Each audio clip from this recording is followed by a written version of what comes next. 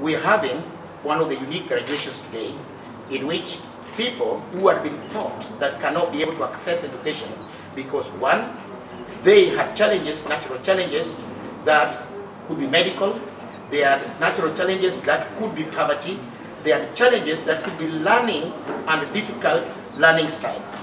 Today, because we have anthropobiometric machines, we are able to extract human metric values and be able to place people in programs that they can manage.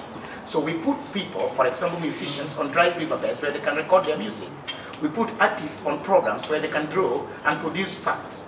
We put adults that probably dropped out in class 2 or form 2 but have been able to put up big companies that employ graduates from our traditional universities. Yet when they want to go to the university, they're told they're not qualified.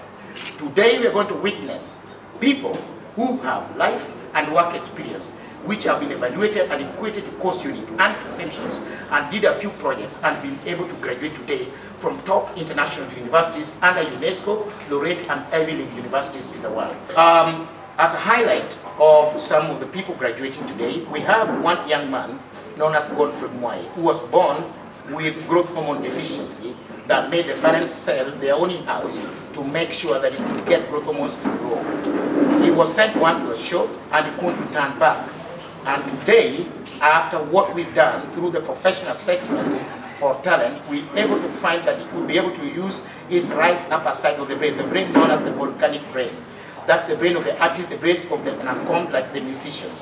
Today, Mwai, after six years, is able to graduate with a bachelor's degree. But above the degree, what is important for them and the, as a family is that Mwai is independent, is able to do his own things on his own, and is able to fend for himself. Somebody who could not fit in any learning institution in Kenya. Another case is one known as Ken Okello. Ken Okello was brought, was brought to me as a young 12-year-old who could not fit in any academic system because um, he knows everything, but when it comes to exam, he loses it all. He can't write exams. And his problem was learning and product styles, which we don't deal with in our normal traditional education systems. There are people who have unique learning and assessment skills, and he was one of them.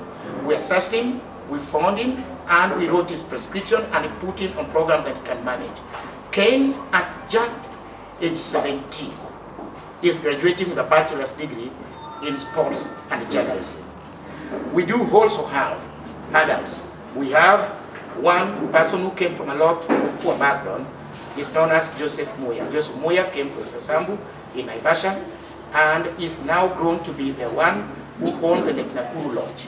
This is a man with immense experience, has brought up a lot of people, mentored so many people.